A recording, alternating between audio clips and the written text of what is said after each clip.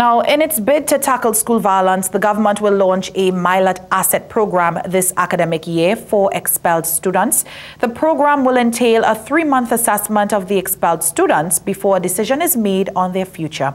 This was revealed by Minister of Youth Development and National Service, Foster Cummings, when he sat down with Ryan Bachoo in this week's big interview. Are we facing a crisis when it comes to the nation's youth? A candid conversation on youth with the Minister of Youth Development and National Service, Foster Cummings. The statistics are alarming. Between 2015 and 2019, 62% of the 510 people charged with murder were between the ages of 15 and 29. 96% of them were male. As an answer to the violence perpetrated by youth, Commissioner of Police Erla Harewood-Christopher warned parents they will be held accountable for their children's actions. I'm going to ask you directly, would you support it?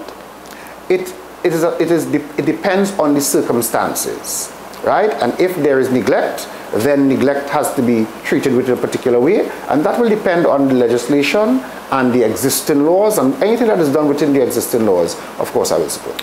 With school violence also dominating the headlines of the last academic year, Cummings promised a MYPART asset program that will deal with expelled students. All of the persons, the young the, the students who have been expelled from secondary school for one reason or the other, most of it being deviant behavior, will come into that program. They will go through a period of assessment for about three months or so. And then we direct them into either the technical vocational aspect, which is the MYPART, or the academic stream, which is the MILAT.